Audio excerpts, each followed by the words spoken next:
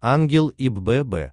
Топ скандалов и курьезов Авакова на посту главы МВД. Верховная Рада приняла отставку Арсена Авакова с поста министра внутренних дел Украины 15 июля, поддержав решение 291 голосом за.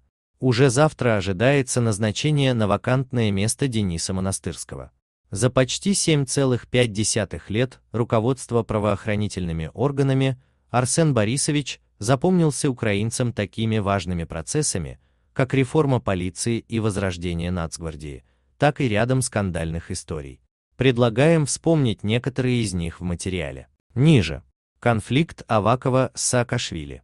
В конце 2015 года на заседании Национального совета реформ в администрации президента произошла перепалка между Аваковым и тогдашним главой Одесской ОГА Михаилом Саакашвили, которая длительное время широко обсуждалась в обществе и даже инспирировала ряд шуточных видеоклипов и мемов. Тогда чиновники эмоционально обменялись рядом обвинений и оскорблений, а в конце Аваков даже швырнув в Саакашвили стакан с водой. Видео. Конфликт между Аваковым и Саакашвили – на заседании Национального совета реформ в 2015. Кортеж Авакова нарушал ПДД. В марте 2014 года журналисты зафиксировали факт превышения скорости и ограничения движения на маршруте, которым двигался кортеж главы МВД Авакова по возвращению из Новых Петровцев в Киев. Это произошло уже через месяц после того, как тогдашний премьер Арсений Яценюк пообещал, что на дорогах все будут равны, чиновники не будут передвигаться в кортежах, и ради них уже не будут перекрывать движение. Видео. Кортеж Авакова нарушал ПДД в марте 2014. Аваков не исключил, что он ангел. Недавно Аваков сравнил себя с ангелом в комментарии относительно распространенной фразы в его адрес черт, которая звучит из уст его оппонентов и критиков.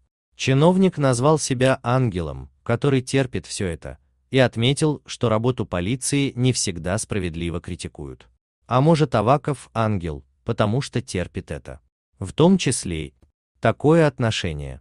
Потому что у меня такая работа, что иногда нужно быть твердым, а иногда человечным, но часто жестким, заявил Аваков и сравнил свою должность с раскаленной сковородкой и признался, что его пост – не сладкое место. Видео. Глава МВД высказался о фразе Аваков «черт». Аваков об украинском и русском языках. Этой весной Аваков высказал мнение, что Украина должна не отказываться от русского языка, а использовать его для контрпропаганды против РФ, и для этого нужно также запустить канал на зарубежную аудиторию. Такое заявление последовало незадолго после того, как президент Украины Владимир Зеленский сообщил, что никому не даст приватизировать русский язык.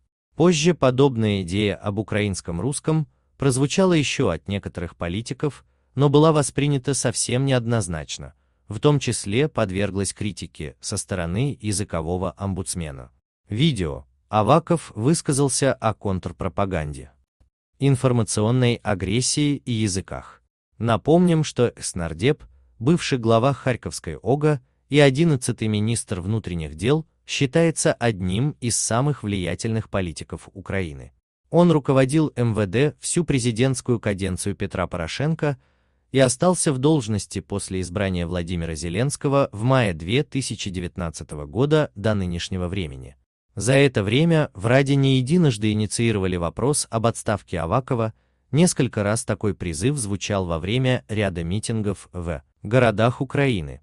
Но заявление главного полицейского страны об отставке 13 июля стало для многих настоящим сюрпризом. Добавим, что ранее на майской пресс-конференции президент Владимир Зеленский говорил, что поднимет вопрос отставки Авакова, если фигурантов дела об убийстве журналиста Павла Шеремета преследуют незаконно.